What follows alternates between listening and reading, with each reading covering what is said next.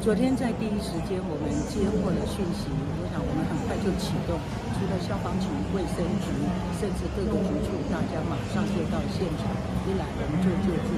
当然，现在呃，在目前为止，知道是二十八人是呃受到轻重伤，目前还有七位还在住院。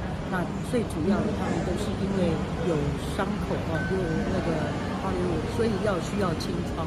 啊，那我想我们会持续的关怀，也拜托医疗单位能够给予这呃呃更多的关照跟协助。那当然更重要的是，我们一定呃，我想警察局还有消防局相关局处也在责成调查目前的状况发生的原因。啊，那我们一定会呃会呃调查到底，会呃让这一个事件。呃，对大家做一个说明。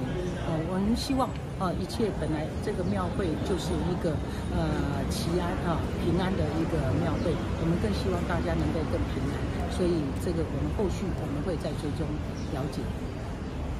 好。